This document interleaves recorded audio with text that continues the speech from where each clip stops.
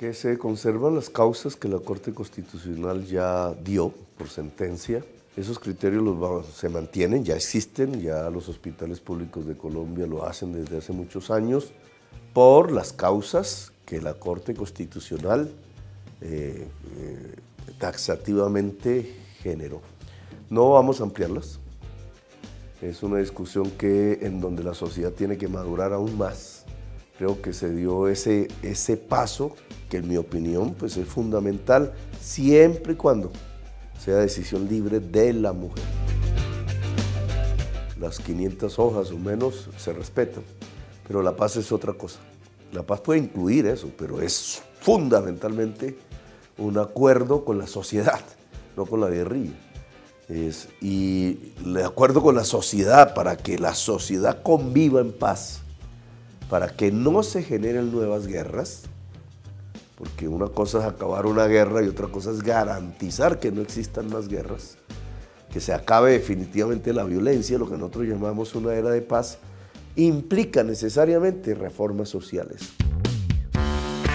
Ese clima que nosotros queremos generar si somos presidentes bajaría por completo las, eh, las llamémoslo, las desconfianzas que esta agrupación tiene sobre hacer la paz es decir, terminar su propia guerra. Y creo que permitiría fácilmente en pocas semanas que el ELN se desarme, tal cual ocurrió con la FARC. Ese es más o menos lo que haríamos, crear un clima que no está pensado en el ELN, sino en el país, para que la sociedad colombiana entre en un diálogo y en un pacto. ¿Alrededor de qué? De unas reformas sociales específicas que permiten la convivencia social. A mí no me gustan los menores de edad en la cárcel. La política de seguridad no es llevar a la gente a la cárcel. La política de seguridad consiste en que cada vez menos gente vaya a la cárcel, porque no cometen delitos. Y me explico, que si a los jóvenes se le incluye socialmente y a los jóvenes populares se les abre espacio y poder y a los jóvenes ya en vulnerabilidad delictiva se les entrega los instrumentos para que puedan estudiar y generar ingresos, la seguridad de la ciudad mejora.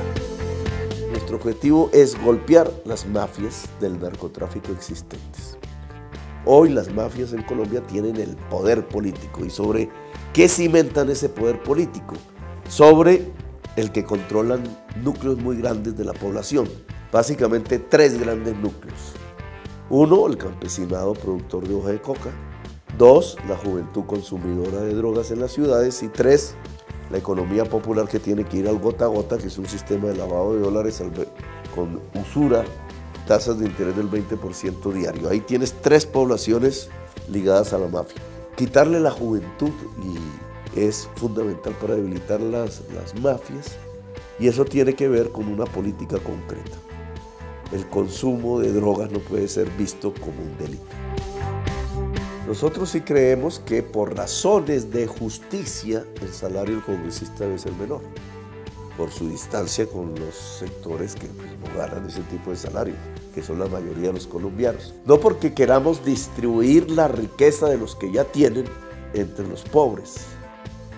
Esa es una visión deformada de lo que estamos proponiendo en Colombia sino porque queremos darle a la población de menos capacidad económica en toda Colombia los instrumentos productivos que le permitan, como dice la Biblia, ganarse el pan con el sudor de la frente. Es decir, el trabajo es el constructor de la riqueza